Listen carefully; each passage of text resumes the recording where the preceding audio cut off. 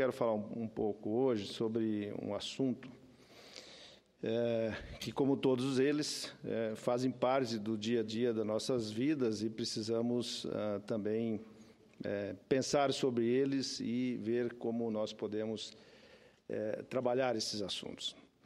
Eu penso que, em momentos de crise, é que se exigem ousadia, se exigem firmeza, de atitudes de homens políticos abnegados, unidos na missão de fazer do presente o que se deixou de fazer no passado, para que possamos ter o nosso país do futuro. A confluência das crises política e econômica resulta no agravamento da questão social, que é o desemprego, a inflação, a violência, a desesperança da população e a crescente descrença nas instituições democráticas. São sintomas de, que algo muito sério está acontecendo no nosso país. A violência que hoje assola o país pode ainda se tornar muito mais grave. Em uma perigosa inversão de valores, vemos o policial ser durante, duramente criticado pela sociedade, como se fosse ele o único responsável pelas mazelas de um povo que clama por, por uma distante paz social. No entanto, é preciso sempre relembrar de que esta paz social é responsabilidade do Estado e das instituições e de cada um de nós.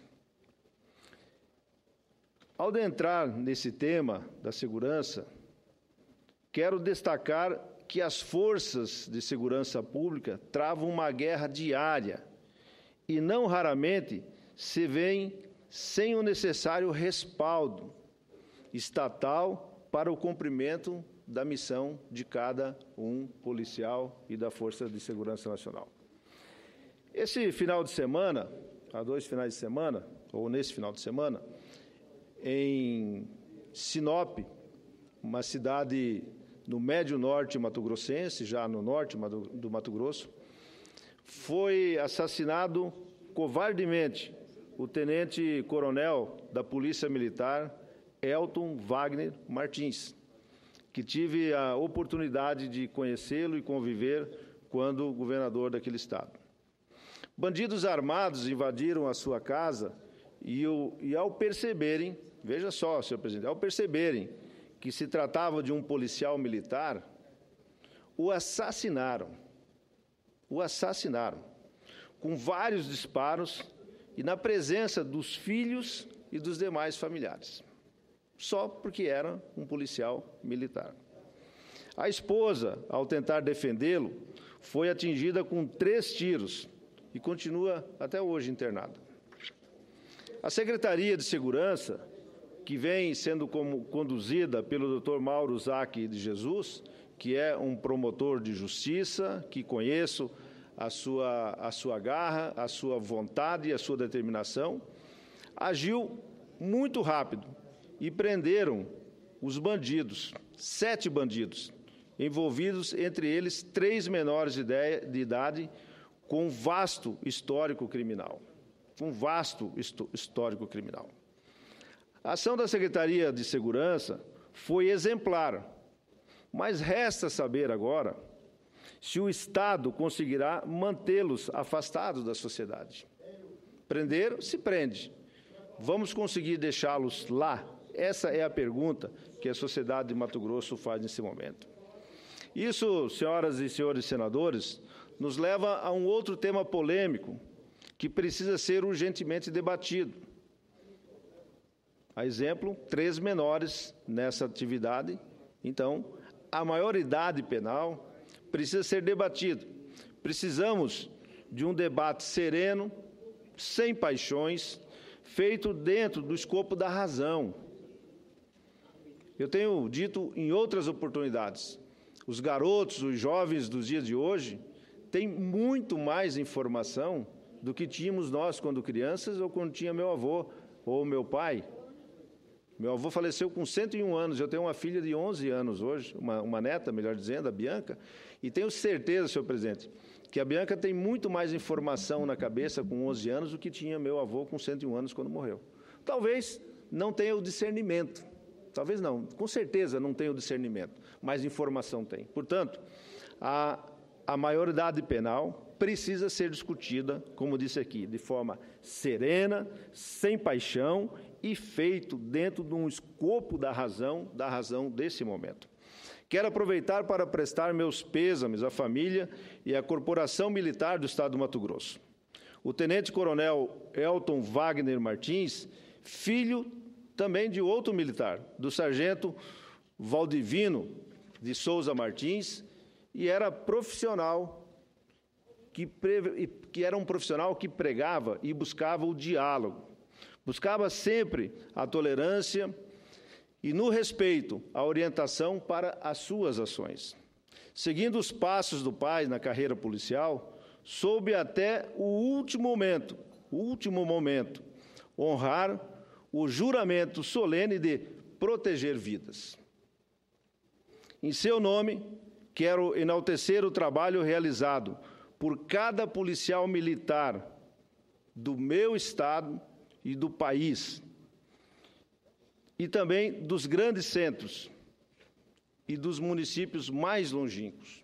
São esses os homens que defendem a população, mas, como disse no início, muitas das vezes não, res, não recebe o respaldo estatal e nem a compreensão da sociedade por aquilo que faz, pelo que se arrisca e que está disposto a fazer. Quero e que nos tempos, quero que nos tempos medem os esforços, mesmo com o risco da própria vida, para proteger a sociedade. Muitas vezes injustiçados, mas nunca acovardados, diante dos perigos que rondam as suas vidas no dia a dia. Assim é o policial militar, que tem como exemplo o tenente-coronel Elton Wagner Martins, que escolhe a profissão por vocação, grande que é a grande maioria dos policiais e das instituições. As, as instituições continuam firmes em seu nobre em sua nobre missão de fazer a segurança pública, protegendo vidas e mantendo a ordem, mesmo quando muitos não compreendem a complexidade do seu trabalho. A família do tenente-coronel Wagner, em nome da sua esposa, Cristina Martins, nosso, o nosso pesar e que Deus os conforte a todos na sua família. Precisamos repensar com muita urgência o nosso modelo de segurança pública. Concedo a parte ao senador José Medeiros. Também do Estado de Mato Grosso, meu colega senador, e, como sempre, da cidade de Rondonópolis. É, Senadópolis. Senadópolis, boa essa. Senador Blair Maggi, é, queria te parabenizar porque Vossa Excelência, mesmo sendo de um, de um setor que oriundo de um setor que é distante até da segurança pública, tem a sensibilidade, como senador, dentro das suas atribuições, mas tem a sensibilidade de tratar de um tema tão importante. Eu creio que na, na esteira da, de importância de, uma, de um pai de família, está em primeiro lugar a saúde dos filhos, em segundo lugar vem a segurança. E essa também devia ser, eu acho que a prioridade do Estado ao, ao, ao fazer gradação de importância. No entanto, é, como Vossa Excelência deixou bem claro no, no seu discurso, na sua fala, a gente não vê isso. Nós vemos anos a anos a, a, os orçamentos serem contingenciados e a segurança fica aqui meio a terceiro plano. A nossa preocupação é que esse ente tão importante que é o policial militar, ele é quase que enxovalhado por todos.